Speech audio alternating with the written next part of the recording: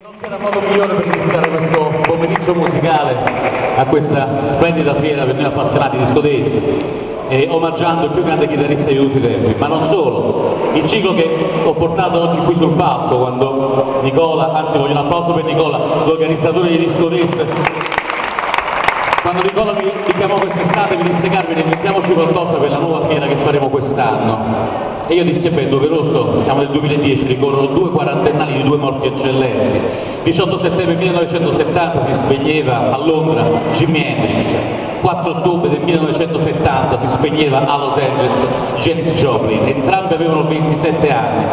Entrambi con la J avevano le proprie iniziali. Un numero 27 che è quasi maledetto per la storia del rock perché 27 anni è morto il papà del blues Robert Johnson. A 27 anni nel 69 morì Brian Jones mentre, mentre fondatore dei Rolling Stones. A 27 anni si è suicidato Kurt Cobain.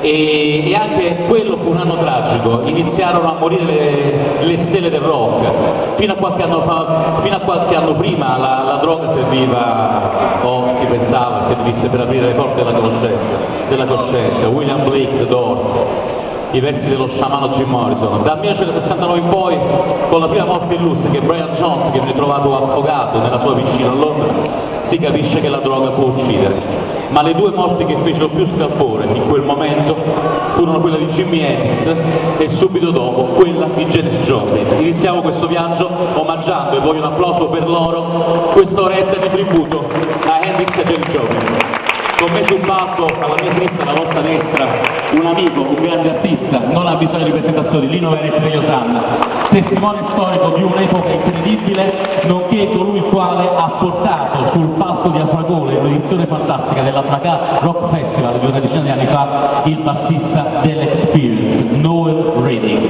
Iniziamo questo viaggio. Allora, Hendrix è americano, nasce nello stato di Seattle da una madre Cherokee incomincia a suonare nei circuiti di New York, si trasferisce prestissimo a New York